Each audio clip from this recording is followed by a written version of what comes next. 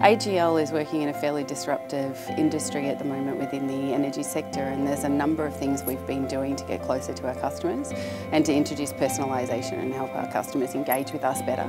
But in order to do that we needed to do it in a safe and a, a secure way so our Security Uplift program has been all about ensuring that our customers and our customer data is safe and secure.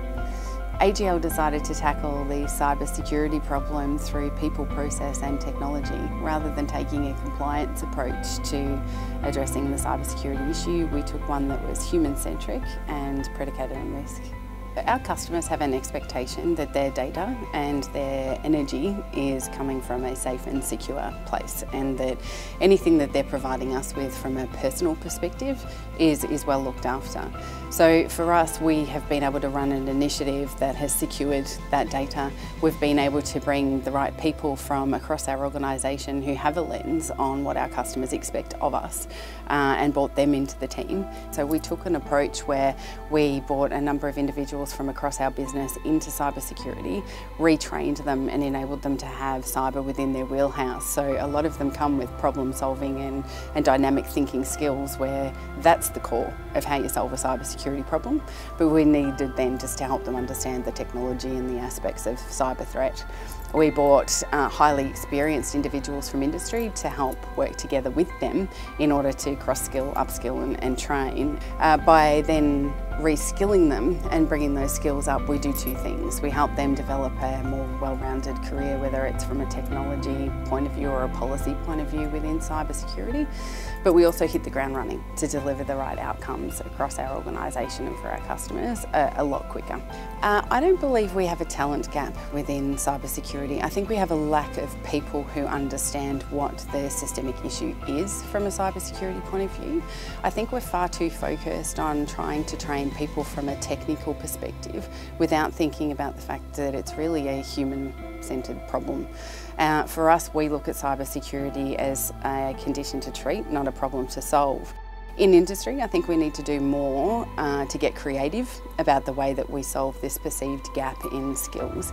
And I think it's looking at what the soft skills are, the standard technology skills are that people have, and then how that can be applied to cyber security. And I think if we do that, we will find that that gap will close very quickly.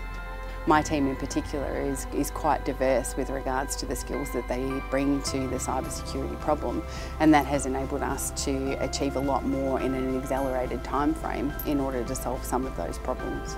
AGL is proud to be an employer of choice and we pride ourselves on the fact that we bring in people from all walks of life and cross-skill and upskill and contribute to the skills base across technology for, for Australia. Cyber itself is actually being a little disruptive here at AGL. We work really closely with organisations such as CyRise and AustCyber to bring different startups from Australia into our organisation. So whilst we're looking at the robustness of certain security tools to make sure that our, our, data is safe and secure and our customers' privacy is well looked after, we're also looking at how you do that in a way that's more flexible for the organisation. And we do that leveraging our startup community and co-developing and looking at new and innovative ways to tackle the problem of cybersecurity. We've done a lot to ensure that we not only have the right people there, but the technology that supports that as well. We need boards to be familiar with the organisation's cybersecurity response plan. So at the end of the day, you can do as much as possible to try and close the gaps and ensure that you have the right level of visibility around the threats that you're facing into and what might hit the organisation from a cybersecurity point of view. But should something occur, the board is a really important element of how you respond to any particular threat that you're facing into.